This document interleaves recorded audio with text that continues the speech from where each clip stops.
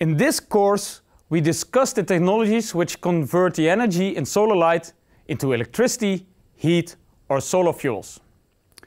Before I come to that, I would like to start discussing the energy source itself. What is light? What are the physical properties of light? And how does a typical solar spectrum look like? Let's start with the first question. What is light? Light can be described as electromagnetic waves, as well as particles with a quantized amount of energy which we call a photon. Let's start with the fact that light can be described by a kind of particles called photons. We have to go back to the already introduced photoelectric effect. The photoelectric effect is demonstrated in the simple movie I found on YouTube. You see here an electroscope.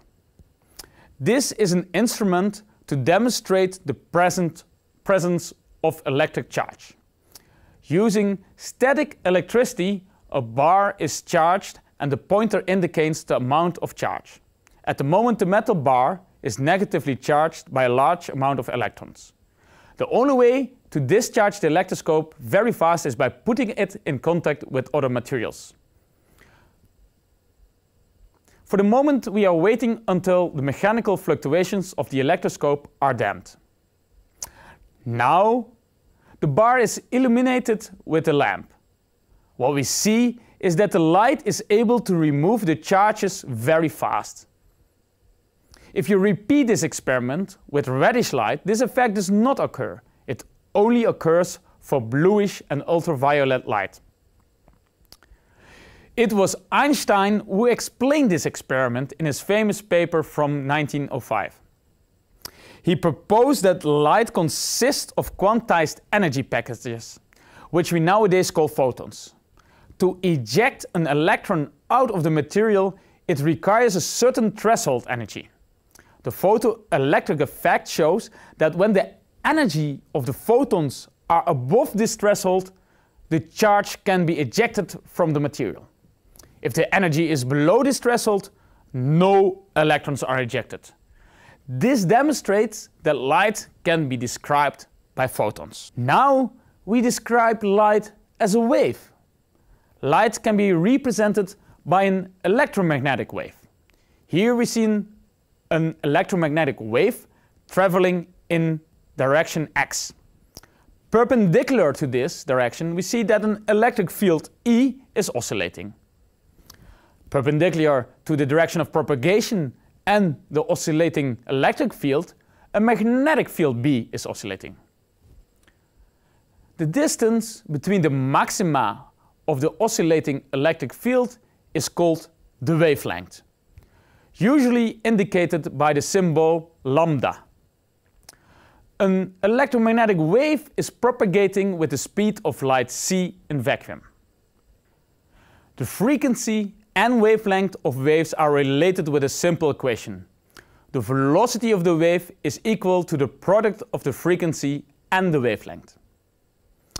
The energy of the photon with wavelength lambda is equal to the product of the Planck constant h and the frequency. As the frequency equals to velocity of light divided by the wavelength, the photon energy can also be expressed in terms of wavelength. It is equal to the product of the Planck constant, the velocity of light, divided by the wavelength. Electromagnetic waves exist in many spectral ranges.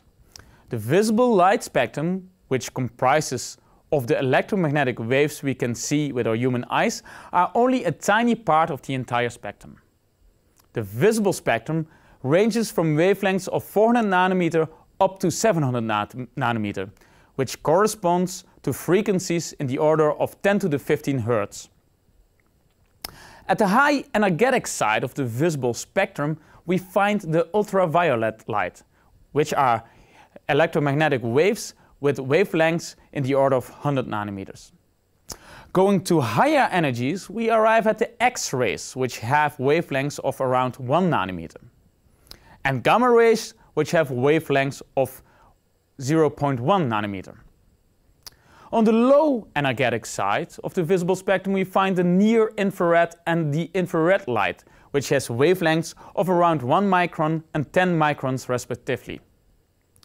Microwaves are electromagnetic waves with wavelengths in the order of centimeters. Radio, TV waves and are in the order of meters and tenths of meters and AM waves in the order of 100 meters. The question now is, in which spectral range does the sun irradiate light? For that I will introduce the quantities irradiance and spectral power density. Let's start with the irradiance. The irradiance is the power per unit area and is usually expressed in watts per square meter. The irradiance does not provide us any information about the spectral shape of the light source. In our course, we give the irradiance the symbol I. Next, we introduced the spectral power density P, a quantity which has spectral information in contrast to the irradiance. The spectral power density is the incident power per unit area and per unit wavelength. The irradiance and spectral power density are related to each other with this simple formula. How does the spectrum of the sun look like? Or in other words, how does the spectral power density function look like? To human eyes, the sun is a bright object in the sky. The sun, a so-called black body radiator. What is a black body radiator? All matter emits electromagnetic radiation when its temperature is above absolute zero. A body which is not reflective and absorbs all light is called a black body. The spectral power density of a black body radiator, which is in thermal equilibrium, is given by Planck's law. This law shows that the spectrum peaks at a certain wavelength when the object is at a certain temperature. The curve shows the typical spectral shape of a black body radiator. If a black body radiator has a temperature larger than 500 degrees Celsius, it starts to emit electromagnetic waves in the visible spectrum. The higher the temperature of the black body radiator, the greater the shift of the spectral peak to lower wavelengths or higher photon energies. Although the Sun is not a perfect black body, nor is in thermal equilibrium, Planck's law is a good first estimate of the spectrum of its emitted electromagnetic radiation. The Sun's surface is at a temperature of around 5800 Kelvin and therefore has its spectral peak in the visible spectrum. If we compare this to planet Earth and consider it as a black body radiator as well, its spectral peak would lie in the infrared region close to 10 microns. To test solar modules, we use so-called solar simulators. For that, we use lamps which simulate the shape of the solar spectrum. This is far from straightforward as regular lamps have different shaped spectra compared to that of the sun. Let's go to the Delft Solar Lab and look at two spectra, one of a compact fluorescent lamp and the other of a color-changing LED strips. The lamps are placed in a black box and spectra shapes are measured using a spectrometer. We see the spectrum of the compact fluorescent lamp. As you can see, its emission has some sharp lines related to the excited states of the mix of phosphorus present in the bulb. Next, we look to a strip of different colored LEDs.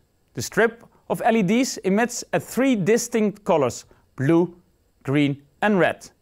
You see the dominant emitted color back in the measured spectrum on the screen. Interesting to notice that it only requires three colors to let the human eye believe we are looking at white light. However, as you can see, the spectra are quite different from that of, a, of the Sun. It means it requires a combination of many types of lamps to simulate the solar spectrum. If we look at the solar spectrum, 9% of its energy is in the UV range, at wavelengths smaller than 400 nanometers. 44% of its energy is in the visible range, whereas 47% of its energy is in the infrared. So we have discussed that light can be described as an electromagnetic wave and as a flux of photons. The shape of the spectrum of the sun has been introduced. However, the question is whether this is the solar spectrum arriving at the surface of the Earth and whether it has the same shape and irradiance level. We will discuss that in the next block.